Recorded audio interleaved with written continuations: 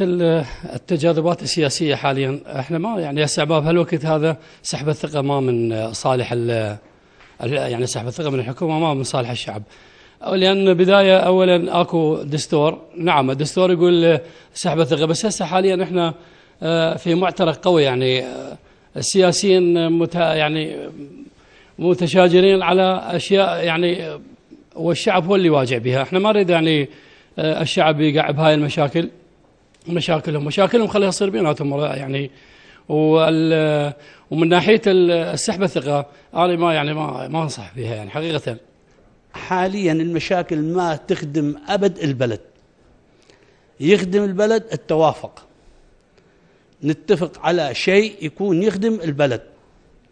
لأن أسع النزاعات ما من صالحنا ولا من صالح الشعب ولا من صالح البلد. والله قرار سحب الثقة يعني وين سحبوا الثقة؟ وبعدين يعني فيما بعد. ماذا سيحصل؟ يعني نتمنى أنه تستمر العملية السياسية ويتفقون السياسيين فيما بينهم ويأجلون النزاعات والخلافات فيما بينهم في سبيل تقديم خدمة للشعب العراقي. والله الوضع السياسي يعني آه، في رأيي الشخصي أنه صراعات حول المناصب وأعتقد أن الحكومة قامت بالآونة الأخيرة بالتصحيح والعمل الجيد فهنالك ناس لا يريدون أن يستقر العراق فحدثت هذه الفوضى.